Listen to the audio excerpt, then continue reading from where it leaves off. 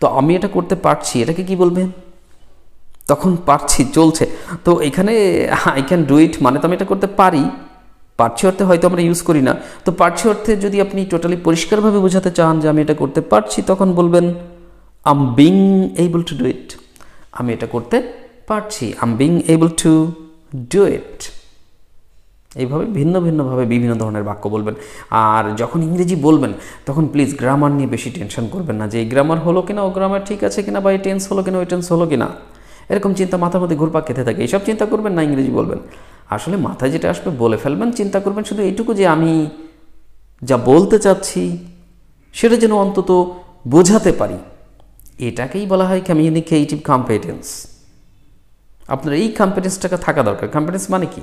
Ability scale দক্ষতা। তো এটা থাকলেই হবে ইনশাআল্লাহ। তো এইভাবে আপনি ছোটো ছোটো বিভিন্ন ধরনের বাক্য বলবেন। ঠিক এই মুহূর্তে তুমি কি করছ?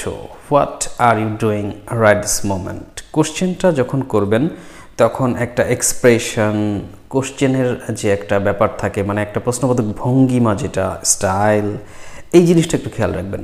তো এই মুহূর্তে তুমি কি করছ? Where are doing right this moment where are doing right this moment মানে রাইট দিস মোমেন্ট কিন্তু এই মুহূর্তে, আর হোয়াট আর ডুইং তুমি কি করছ?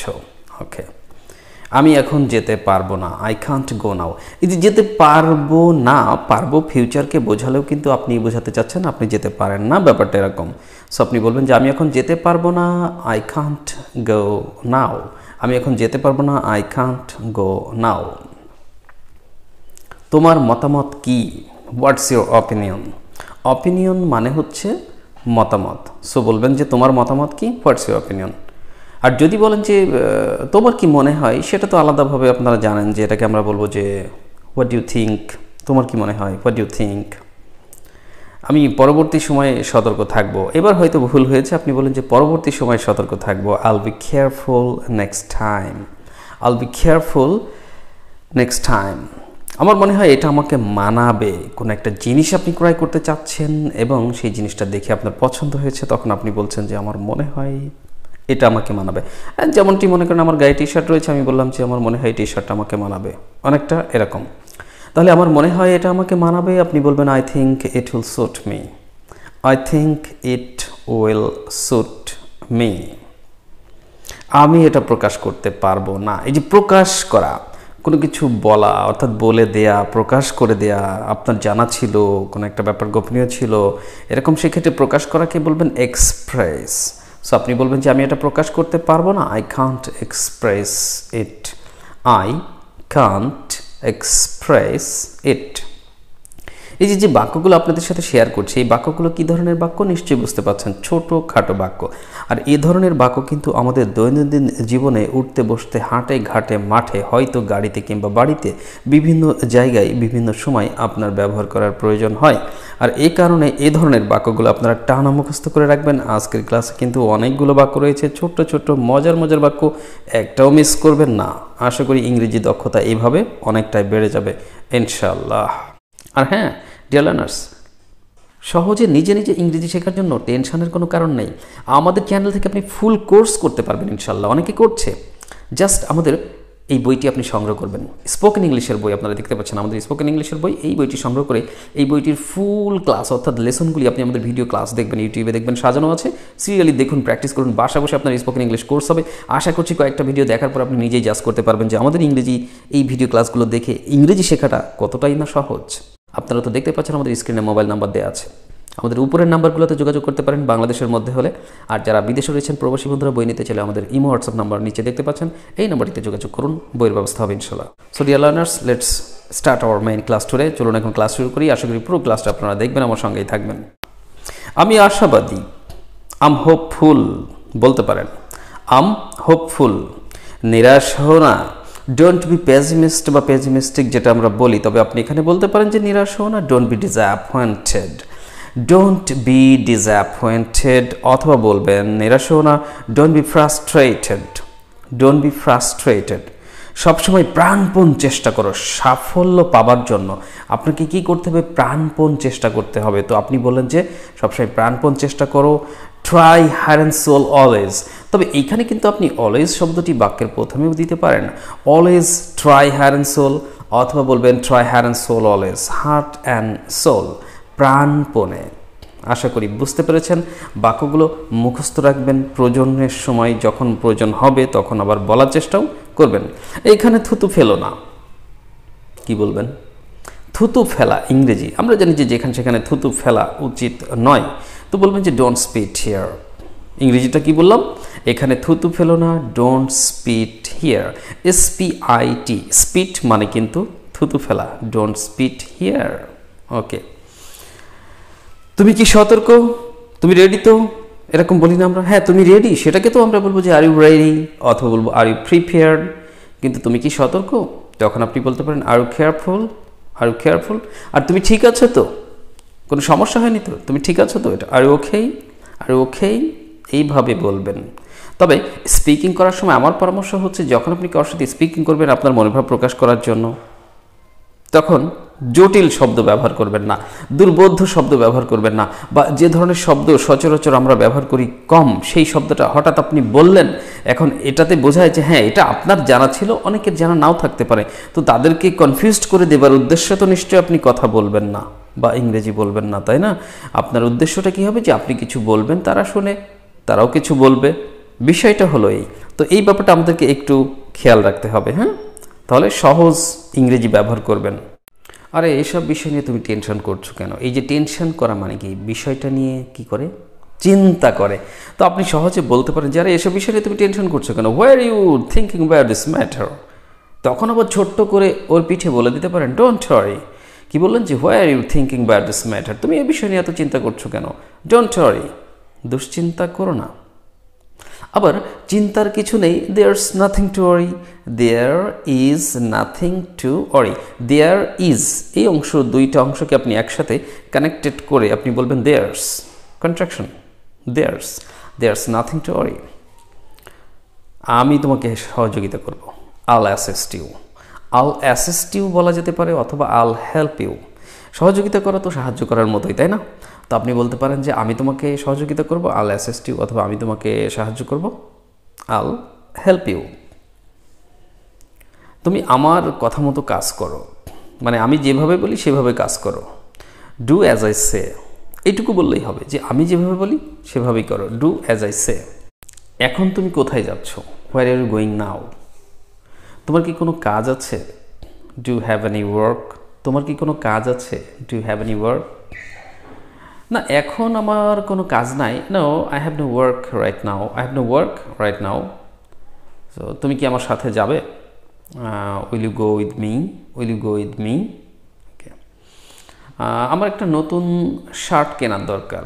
I need to buy a new shirt I need to buy a new shirt যখন কোনো কাজ করার দরকার, তখন আই নিড এরপরে আপনি টু দিয়ে ভার্বটা বলতে পারেন যে, আমার পানি পান করার দরকার। I need to drink water আমার একটু বাইরে যাবার দরকার I need to go out আমার একটা নতুন শার্ট কেনার দরকার I need to buy a new shirt আমার বন্ধুর সাথে একটু কথা বলা দরকার I need to talk to my friend এই তো।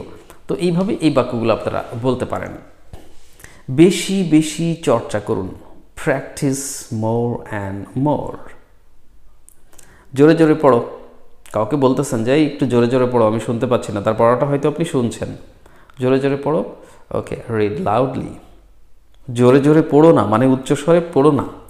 ডোন্ট রিড লাউডলি আর এভাবে যদি বলেন যে উচ্চস্বরে কথা বলো না ডোন্ট টক লাউডলি নিচু স্বরে কথা বলো, বা একটু আস্তে কথা বলো। আস্তে মানে কি? শব্দটা কমিয়ে কথা বলো। সেটাকে বলবেন যে স্পিক সফটলি স্পিক সফটলি আর ধীরে ধীরে কথা বলা গতির ব্যাপার নিশ্চয়ই আপনারা জানেন। স্পিক স্লোলি স্পিক স্লোলি দয়া করে আস্তে কথা বলুন, আমি বুঝতে পারছি না। মানে দয়া করে আস্তে কথা বলুন, আমি এটা বুঝতে পারছি না। তো আপনি তখন বলতে পারেন যে speak slowly I can't get it please please speak slowly I can't get it যখন আপনি বুঝতে পারলেন যে হ্যাঁ আমি বুঝতে পেরেছি, তখন আপনি বলতে পারেন আই গট ইট হ্যাঁ আমি তোমার কথা বুঝতে পেরেছি। I got your point I got your পয়েন্টও বলা যেতে পারে যে আই গট ইউর পয়েন্ট আমার একটা মাথায় বুদ্ধি এসেছে। এখন এই যে মাথায় বুদ্ধি এসেছে, তার মানে কি? আপনি একটা প্ল্যান করছেন, পরিকল্পনা করছেন, তখন আপনি বলতে পারেন যে I have a good plan আমার মাথায় একটা ভালো বুদ্ধি এসেছে I have a good plan তোমার কি কোনো পরিকল্পনা আছে? ডু হ্যাভ এনি প্ল্যান তোমার কি কোনো পরিকল্পনা আছে? ডু হ্যাভ এনি প্ল্যান চলো, একসাথেই করি। কোন একটা কাজ আপনারা বললেন যে আমি একা করব, কষ্ট হয়েছে চলো আমরা দুজনে একসাথেই করি। তখন আপনি বললেন let's do together let's do together এই লেটসটা কিন্তু ইউজ করবেন বিশেষ করে যখন আপনি কাউকে কোনো কিছু করার প্রস্তাব দিচ্ছেন, চলো এই কাজটা করি পিকনিক করি, আমরা একটা নতুন প্রজেক্ট করি। কোনো একটা প্রপোজাল দিচ্ছেন, তখন আপনি কিন্তু লেটস ইউজ করতে পারেন। লেটস আসলে এটা কি? লেট আস যেটাকে আমরা কন্ট্রাকশন করে বলি লেটস চলো একসাথে খেলি লেটস প্লে টুগেদার চলো গল্প করি লেটস গসিপ চলো বাইরে ঘুরতে যাই let's go out for a visit চলো মিটিং অংশগ্রহণ করি লেটস অ্যাটেন্ড দ্য মিটিং চলো ক্লাসে যাই লেটস গো টু ক্লাস চলো ইংরেজি শিখি লেটস লার্ন ইংলিশ তো এইভাবে লেটস দিয়ে আপনি বাক্য বলবেন কখন? যখন কিন্তু আসলে কোনো বিষয়ে আপনি প্রপোজাল দিচ্ছেন কাউকে বা প্রস্তাব দিচ্ছেন, এই বিষয়টা খেয়াল রাখবেন। তাহলে লেটস ইউজ করতে সুবিধা হবে। লেটস কিন্তু, লেট না, লেট দিয়ে মানে কিছুদিন আগেও আমি একটা ছোট ভিডিও দিয়েছিলাম, এর আগেও দিয়েছি। তো সেখানে আপনারা দেখেছিলেন যে লেটের পরে আমরা বিভিন্ন ধরনের অবজেক্ট ইউজ করেছিলাম, তাই না? আপনি কখনো কখনো বলেন যে, আমাকে শেষ করতে দাও লে মি ফিনিশ আমাকে বলতে দাও লে মি সে তাকে আসতে দাও লেট হিম কাম ওকে যেতে দাও লেট হিম গো আমাকে প্রকাশ করতে দাও লেমি এক্সপ্রেস তো এইখানে কিন্তু লেটের পর বিভিন্ন ধরনের অবজেক্ট ইউজ হচ্ছে, তারপরে যে ভার্বের কোন ফর্ম ইউজ হচ্ছে? প্রেজেন্ট ফর্ম ইউজ হচ্ছে। এটা আপনারা খেয়াল রাখবেন যে ওই লেটের পরে যে অন্যান্য অবজেক্ট ব্যবহার করছেন আস ব্যতীত লেটস বা লেটাস এটা ব্যতীত, যখন আপনি অন্য অবজেক্ট ইউজ করছেন যে তাকে, তাদেরকে, আমাকে, আমাদেরকে তখন কিন্তু আসলে ওই ধরনের বাংলা বাক্য শেষে দাও থাকছে। আমাকে যেতে দাও, তাকে আসতে দাও, আমাকে বলতে দাও, এই ব্যাপারটা বুঝবেন হ্যাঁ? তখন লেটের পরে আপনি অন্য অবজেক্ট ইউজ করবেন প্লাস মেইন ভার্ব ইউজ করবেন, তাহলে হয়ে যাবে। তাকে বাইরে যেতে দাও লেট হিম গো আউট আচ্ছা ওকে শেষ করতে দাও। মানে তুমি পরে কথা বলো আগে শেষ করুক। ওকে শেষ করতে দাও let him finish let him finish এই যে বিষয়গুলো। খেয়াল রাখবেন, ছোট্ট ছোট্ট কথা বলতে হয়, হুম। আমি এখন যেতে সক্ষম নই। I'm not able to go now যেটাকে আপনি বলতে পারতেন আই কান্ট গো নাও কিন্তু আপনি বলতেছেন, আমি এখন যেতে সক্ষম নই। তখন আপনি বলবেন যে I'm not able to go now I'm not able to go now এই যে এইবল মানে কি? সক্ষম। আমি এটা করতে পারি, তখন আপনি বলছেন যে আই ক্যান ডু ইট কিন্তু যখন বলতেছেন, আমি এটা করতে পারব, আমি এটা করতে পারব, তখনও ইচ্ছে করলে আপনি বলতে পারেন আই ক্যান ডু ইট তবে যদি আপনি এভাবে বলতে চান যে, আমি এটা বলতে পারব মানে কি? আমি এটা করতে সক্ষম হব, তখন আপনি বলতে পারেন I'll be able to do it I'll be able to do it আবার অনেক সময় আমরা বলি, আমি এটা করতে পারছি। মানে আপনি চেষ্টা করছেন এবং দেখছেন যে হচ্ছে, তখন আপনি বলছেন আমি এটা করতে পারছি। তার মানে আপনি পারছেন, আপনার অ্যাবিলিটিটাকে প্রকাশ করছেন। তো আমি এটা করতে পারছি, এটাকে কি বলবেন তখন পারছি, চলছে। তো এখানে আই ক্যান ডু ইট মানে তো আমি এটা করতে পারি। পারছি অর্থে হয়তো আমরা ইউজ করি না। তো পারছি অর্থে যদি আপনি টোটালি পরিষ্কারভাবে বোঝাতে চান যে আমি এটা করতে পারছি, তখন বলবেন I'm being able to do it আমি এটা করতে পারছি। I'm being able to do it এইভাবে ভিন্ন ভিন্নভাবে বিভিন্ন ধরনের বাক্য বলবেন। আর যখন ইংরেজি বলবেন, তখন প্লিজ গ্রামার নিয়ে বেশি টেনশন করবেন না যে এই গ্রামার হলো কিনা, ও গ্রামার ঠিক আছে কিনা বা এই টেন্স হলো কিনা, ওই টেন্স হলো কিনা। এরকম চিন্তা মাথার মধ্যে ঘুরপাক খেতে থাকে। এইসব চিন্তা করবেন না ইংরেজি বলবেন। আসলে মাথায় যেটা আসবে বলে ফেলবেন, চিন্তা করবেন শুধু এইটুকু যে আমি যা বলতে চাচ্ছি, সেটা যেন অন্তত বোঝাতে পারি। এটাকেই বলা হয় কমিউনিকেটিভ কম্পিটেন্স আপনার এই কম্পিটেন্সটাকে থাকা দরকার। কম্পিটেন্স মানে কি?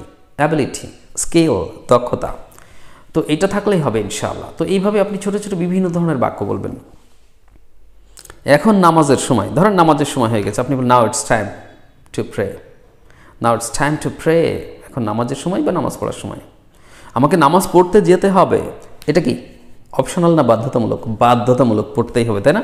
তো এই যে আমাকে নামাজ পড়তে যেতে হবে, তখন আপনারা বলবেন যে I have to go to pray I have to এই হ্যাভ টু হ্যাজ টু এই ফর্মটা ইউজ করবেন যে কাউকে বাধ্যগতভাবে কোনো কাজ করতেই হয় নট অপশনাল বাট কম্পালসরি এটা কিন্তু অপশনাল নয় ঐচ্ছিক নয়, আবশ্যিক কম্পালসরি হুম? অব্লিগেটরি যেটা, বোঝেন তো? বাধ্যতামূলক। তো সেই ক্ষেত্রে আপনি বলবেন যে I have to go to pray আমাকে নামাজ পড়তে যেতে হবে। তুমি কি নামাজ পড়তে যাবে? উইল গো টু প্রে তোমার নামাজ পড়তে যাওয়া উচিত। You should go to pray in this way ছোট্ট ছোট করে বিভিন্ন ধরনের বাক্য তৈরি করুন। আর নামাজের কথা যেহেতু বললাম, নামাজ পড়বেন প্লিজ পাঁচ অক্ত নামাজ পড়ার চেষ্টা করুন সবার সবার জায়গা থেকে।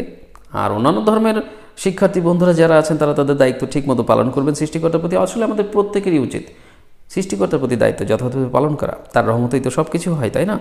সো পাঁচক্ত নামাজ কালাম করার চেষ্টা করুন। আর বিশেষ করে ভালো জব পেতে, জীবনে প্রতিষ্ঠিত হতে অন্তত অল্প অল্প করে শিখতে থাকুন। তো এখন থেকে মাত্র কয়েকটা মাস চলুক। দু চার মাস, পাঁচ ছয় মাস, চলুক, দেখতে দেখতে মাস চলে যায় তো। আপনি এইভাবে লেগে থাকেন, দেখবেন ভালো ইংরেজি শিখতে পারবেন ইনশাল্লাহ, আর আমাদের চ্যানেলের পিছনে লেগে থাকেন। আমাদের চ্যানেলের যে আমাদের নাম, চ্যানেলের নামটা তো জানেন দ্য মেন্টস টিউটোরিয়াল যারা নতুন ভিউয়ার তারা সাবস্ক্রাইব করবেন প্লিজ আর বেলাইকন অন করে দিন যাতে নতুন ক্লাসের ভিডিওর নোটিফিকেশন পেয়ে যাবেন। আর আমাদের যে ফেসবুক পেজ রয়েছে দ্য মেন্টস টিউটোরিয়াল সেই পেজটাও ভিজিট করবেন। অনেক ভিডিও ক্লাস দেওয়া আছে আমাদের ফেসবুক পেজে সেখান থেকে অনেক কিছু শিখতে পারবেন। ফেসবুক পেজের ভিডিওগুলো দেখুন, বেশি বেশি প্লিজ শেয়ার করুন। আর আজকের এই ভিডিওটা বিন্দুমাত্র ভালো লেগে থাকলে প্লিজ একটা লাইক দিতে ভুলবেন না। আচ্ছা সেই সাথে কমেন্ট করা শেয়ার করার অনুরোধ রইল। এবং আমাদের যে ফেসবুক গ্রুপ রয়েছে T M T language club যারা পার্টনার পান না প্র্যাকটিস করব কার সাথে? আমাদের ফেসবুক গ্রুপে জয়েন করবেন T M T language club কি লিখে সার্চ দিবেন ফেসবুকে যে? T M T language club screen আমাদের স্ক্রিন এখন সি হিয়ার ওকে সো দেখতে পাচ্ছেন এখানে আছে, আমাদের ফেসবুক গ্রুপে জয়েন করুন, সেখানে অনেক মেম্বার পাবেন, তাদেরকে নক করুন, তাদের সাথে প্র্যাকটিস করুন। Practice makes a man perfect so বেশি বেশি প্র্যাকটিস করুন, অনেক দক্ষ হতে পারবেন। ভালো ইংলিশ শিখুন, ভালো ক্যারিয়ার করুন ডিয়ার লার্নার্স ছোট ভিডিও ক্লাসটা এখানে শেষ করছি। আশা করি ভালো লেগেছে। প্লিজ একটা লাইক দিন। কথা হবে নতুন কোনো ক্লাসে অ্যান্ড টিল দেন আল্লাহ হাফিজ। আসসালামু আলাইকুম রহমতুল্লাহ। Have a lovely day